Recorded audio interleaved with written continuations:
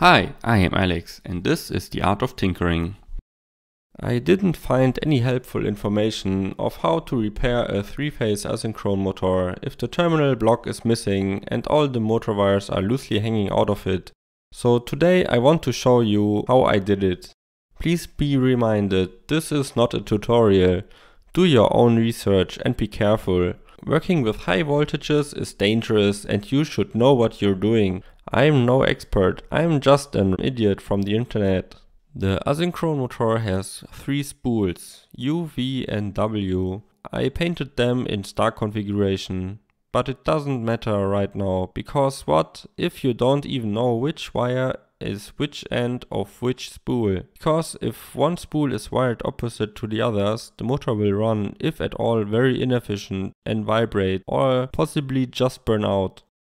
You see me disassemble my motor to clean it, which is probably confusing. You don't have to do this to fix it. So here we have 6 wires hanging out of the stator case.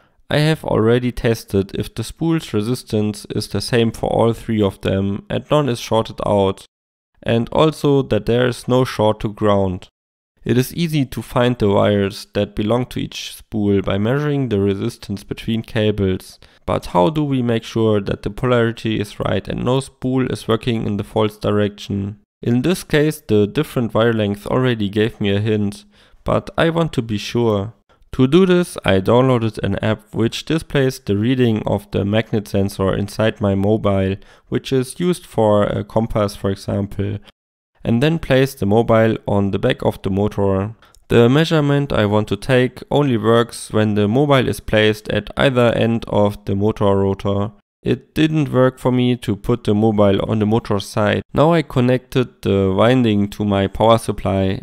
I set it to 4 volt and then just shorted the spool with it. Now as you can see the magnetic field is clearly visible. Now by reversing the polarity we see the measurement is quite different. I 3D printed a new terminal block and connected the wires like this. First I measured which wires belong to which spool. Then I picked one wire randomly and mounted it to the terminal block. This from now on will be called U1. The spool's second wire is also mounted to the terminal block like shown here. The order of the next two spools doesn't matter. I just picked the next one, checked polarity by applying voltage to it and then also connected it till they were all connected in the shown pattern. It makes it more convenient to connect the motor in star or triangle configuration later. Afterwards I also made a lid for it and gave it a test and as expected it finally worked again. And if the motor turns in the wrong direction, we just swap two phases of the AC supply. Okay, that's it for today. Tschüss!